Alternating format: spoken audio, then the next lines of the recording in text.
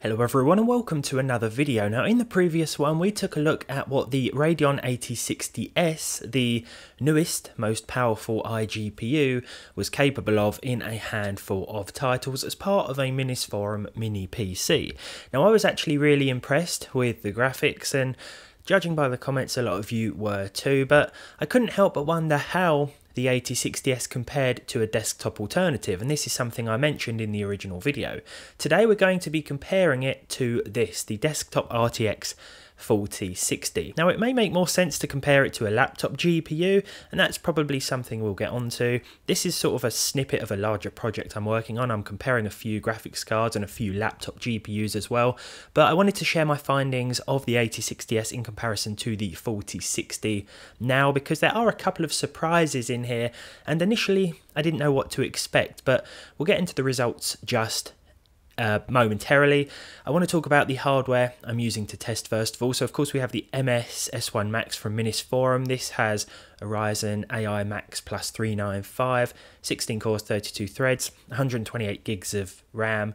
It's a pretty insane system uh, to be honest, but it is a rather expensive one and I wouldn't recommend buying one exclusively for gaming but as I said before it is impressive uh, where we're at in terms of iGPUs these days. Now with the 4060 for comparison I'm actually using an i9 14900K system it's the best CPU I currently have and I'm using 64 gigs of 6400 MHz DDR5 so it doesn't quite match the 8000 MHz LPDDR5X inside the Minisforum machine but it's as close as I could get, really. And in terms of real world usage, it's probably quite unrealistic. I don't think you'll be buying an i9 if you plan to use a 4060, you know, unless you do some pretty CPU intensive stuff, video editing, it might be exactly what you need. But the 4060, it's 115 watts. Um, the 8060S, as part of the Minisforum system, uses 130 watts under performance mode, and that's what I tested the system with.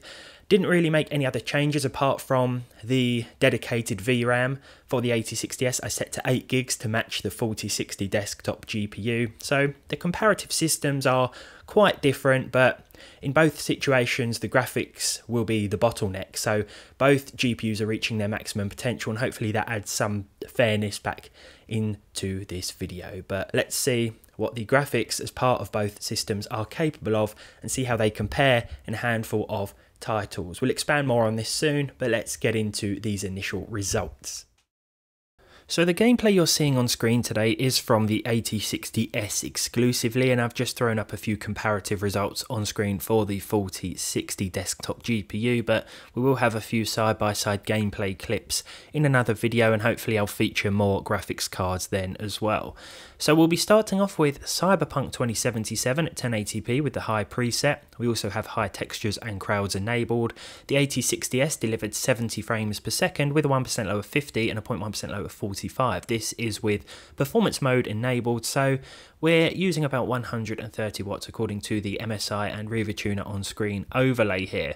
Pretty decent performance considering we don't have a dedicated graphics card in this system and you may want to enable uh, FSR to give it a little bit of a helping hand just to bump up those percentile lows, but overall it's a pretty respectable experience. Now when we compare this to the desktop 4060, yeah it pulls way ahead, we're looking at 95 frames per second, so 25 FPS more here, a 1% low of 72 and a 0.1% low of 56. Now at first I was thinking, well that's it, that's the 8060S completely done for now. Let's move on to Borderlands 4 though. Now this is quite difficult to run on uh, lower end or entry level GPUs, even modern ones like the 4060, and you're going to be pretty limited in terms of settings. With the 8060S here, I stuck with the lowest settings uh, with TSR native, and we're getting pretty close to 60 FPS. Now behind the scenes of this video, I was trying to keep the benchmark runs as accurate as possible, so I was doing exactly the same thing with one system and then the other as well, whether it was just a run through a certain environment or circling a certain map. Yeah, just things like that, trying to keep it as close as possible for accuracy here. There will be slight variations, I guess, but this still gives us a good idea of how these two systems compare. 56 FPS then for the 8060S, a 48 FPS 1% low and a 0.1% low of 37. So not too bad and pretty consistent, pretty impressive here. When we actually look at the 4060 results up on screen, this actually did a little worse in terms of the average. That's right, the 8060S iGPU has overtaken the 4060 in this gaming result. Now the percentile lows were actually a little better for the 8060S as well, 48 and 37 compared to 42 and 29, a few more dips and drops with the RTX card, which was surprising. I was expecting the 4060 to pull things back a bit when it came to the consistency and percentile lows. Moving on to GTA 5 Enhanced now, we have the very high RT preset, so this gives us a little taste of how ray tracing results compare. With the 8060S, we're seeing 81 FPS, a 1% low of 65 and a 0.1% low of 58. So again, pretty impressive, especially with the ray tracing options, including ray trace glo global illumination switched on as well. This is the setting that's going to make the biggest difference in terms of visual upgrades with the enhanced edition, in my opinion. Now, 81 FPS, pretty solid for an iGPU. When we throw up the 4060 results for a comparison, we're looking at 117, sorry, 118 frames per second and percentile lows of 97 and 89. So the 0.1% low with the 4060 was actually better than the average on the 8060S. Let's move on to Kingdom Come Deliverance 2 because this was another close result that actually swung back in favour of the 8060S onboard graphics. Not to spoil things, I think I just have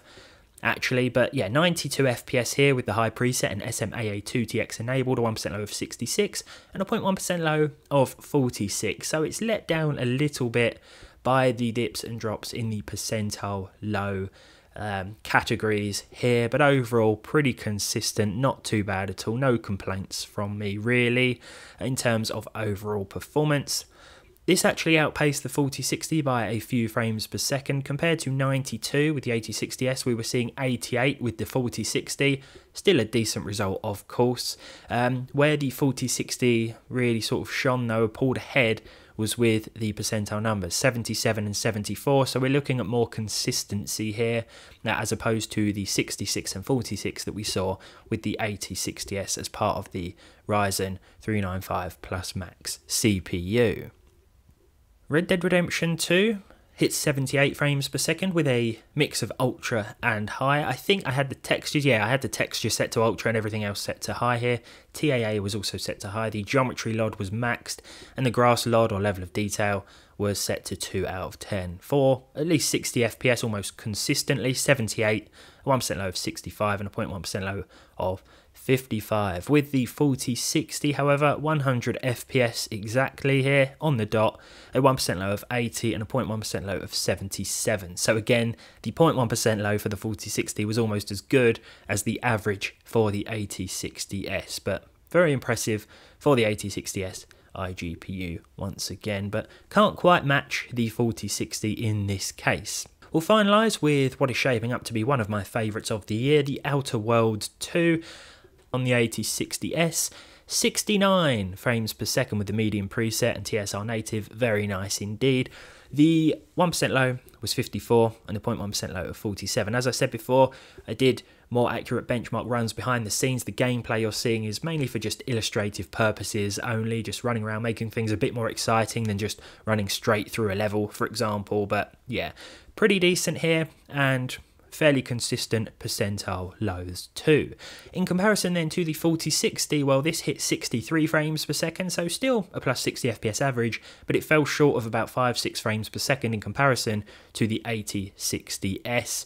We saw a 1% low of 45 compared to 54 beforehand, and a 0.1% low of 39 compared to 47 beforehand as well, so the 8060S actually pulled ahead here.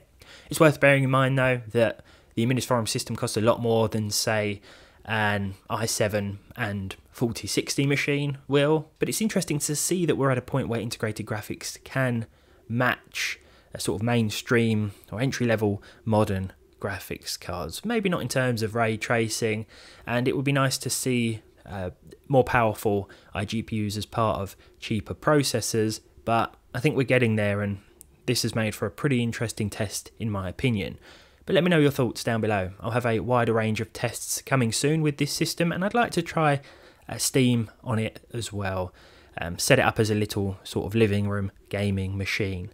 Thanks for watching, as always, and hopefully I'll see all of you in the next one.